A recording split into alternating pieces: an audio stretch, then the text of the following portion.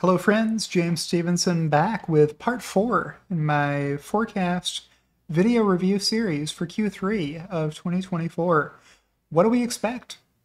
For Tesla earnings, I'm going to show you on some charts that Loki and I put together. Loki is hiding behind his bun bun.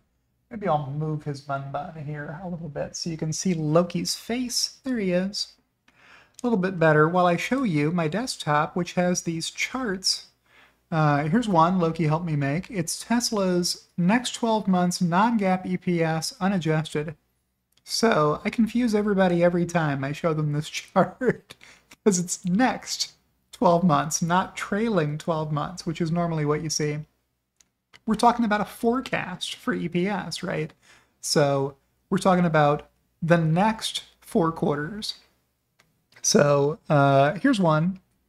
Uh, well, this is an actual, actually. I'm going to have to go reduce the size of this uh, circle to make it the same size as this circle because $4.05 is what happened in the uh, the trailing 12 months ended Q2 of 2024.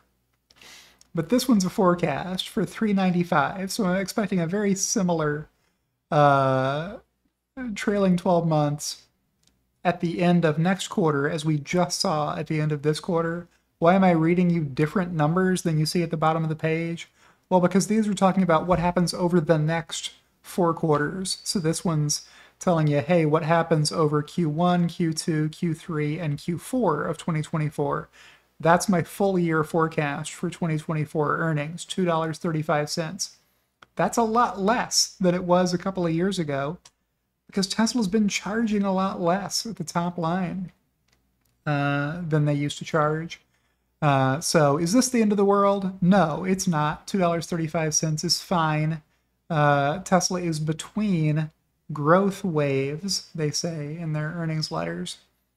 So uh, we should expect earnings improvement to happen subsequently. So as we move into 2025, these earnings ought to be getting better with recovery in the auto business, uh, allowing Tesla to charge more for vehicles, and Tesla selling more Cybertrucks as that model ramps up production in Austin to supply the global market for Cybertrucks.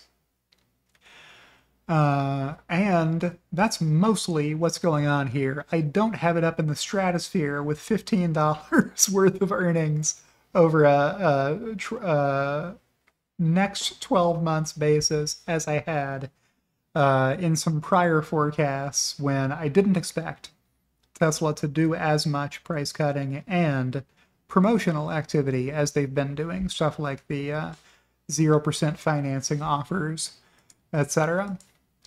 What's this next one? It's exactly the same chart, except it's on a logarithmic scale instead of a regular standard linear scale. So what's that mean? Well, over here at the side, you can see what's happening. You got 25 cents worth of earnings at this line where Tesla was back in 2019 Q1. Uh, that was the next 12 months, so the full year 2019. Or I guess full year 2019 was 48 cents. No. Uh, uh, I confuse myself, even myself, with these charts. No, next 12 months this would be Q2 through. So this 74 cents is telling you what happened in 2020, and this 226 is telling you what happened in 2021, uh, etc. So a lot of good growth here. 50 cents, a dollar, $2, $4, $8. Every line it doubles from what it was previously. So this straight line is telling you that there was exponential growth over this period and that we've seen some paring back since then. And this 235, that is a low, friends. My forecast for the full year 2024. Uh, that's what I'm expecting. We'll see what we get. Uh, but the first two quarters haven't been outstanding. Uh, and some of what we got in Q4 of 2023 was a one-time item. So it would be worse than this by a dollar seventy if not for that $5.93 billion worth of benefit Tesla got from prior year's losses. They finally took in Q3 of 2024 after years of me expecting them to say that they were going to take that favorability. All right, so there's those two charts. Here's one that's Tesla average FSD revenue at time of purchase per delivery in thousands. Uh, the uh, the FSD sales probably haven't been all that hot recently. Q4 and Q1 I had at lower levels than I had at many of the previous quarters.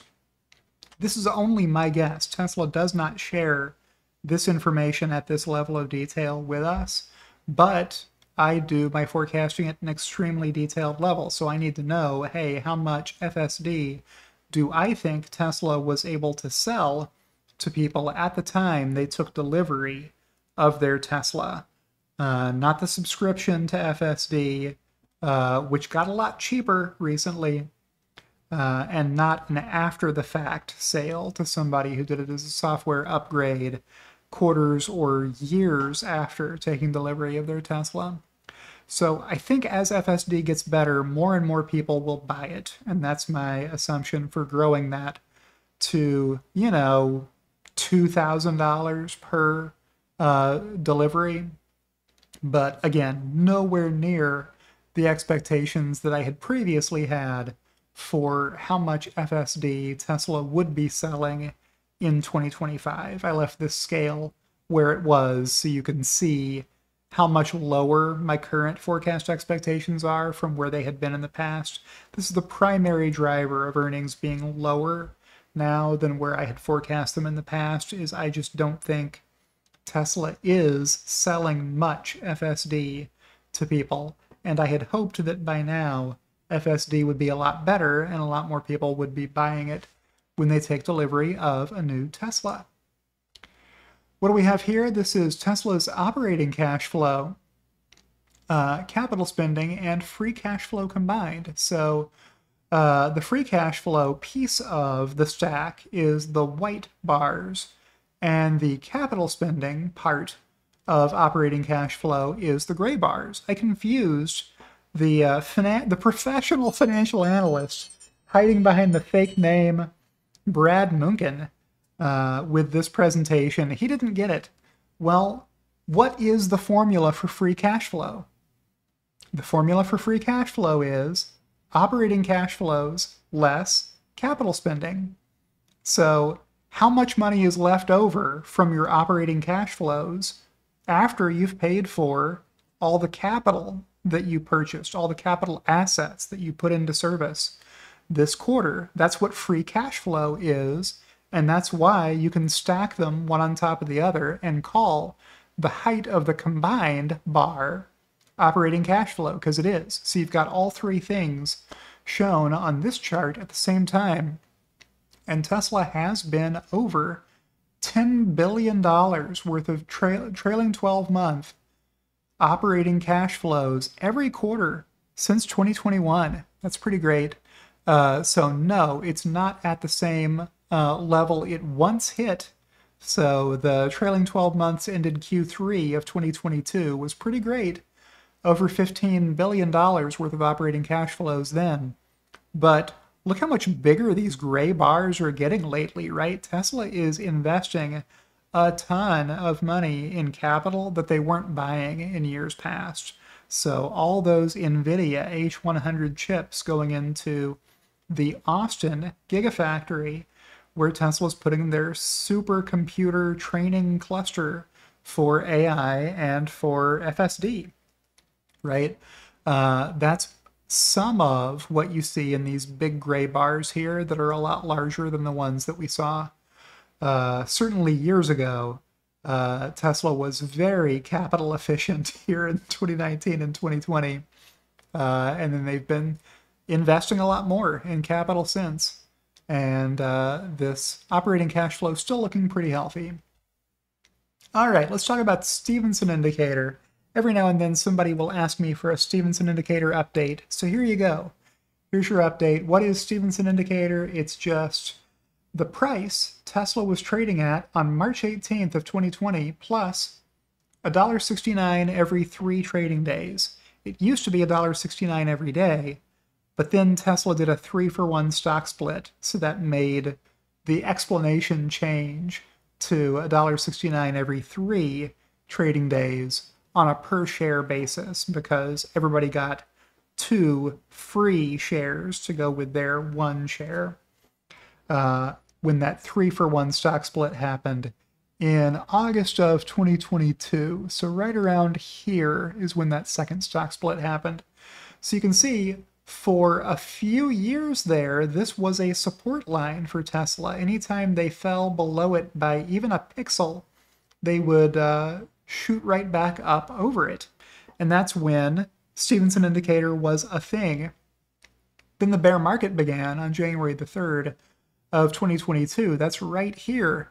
And uh, since then, the stock price has not been doing as well. So these were the all time highs back here in November. Early November of 2021, Tesla hit its all time highs so far. Uh, and then the bear market began at the start of 2022. The three year low came in on January the 3rd of 2023 uh, remarkably, it was exactly one year later uh, after this peak to this trough when the bear market began to the bottom. And then this year, in mid April, right before Tesla released earnings, Tesla went back to another local low uh, right here. And since then, it's been a lot higher. So I've got something going wrong with my date formats right here, but uh, this is the current day. You're up to date. That's where Tesla is relative to Stephenson Indicator. So Stephenson Indicator is uh, $625-ish, looks like to me. Will Tesla ever trade above Stephenson Indicator again? I don't know. It might. Uh, if you think Tesla is going to be a 5 or $10 trillion company one day, you believe Tesla will trade above Stephenson Indicator again because this rate of increase uh, is going to take a long time to get to five or six trillion dollars. Uh, that'll be a while from now. Okay, uh, what's this one do? I'll save it for the next video. So uh, that's the end of this video. I'll check back in with Loki, who is still curled up with his face buried in bed. I'll remind you to like the video if you liked the video, using the uh, thumbs up if you're on YouTube, or the heart if you're on X. And uh, that'll let the algorithm recommend this video to other people like you who might also like this video. And thank you to everybody who supports me, especially my executive producers, Kathy Kitchler and Rebellionaire.com. And I'll see you in the next one.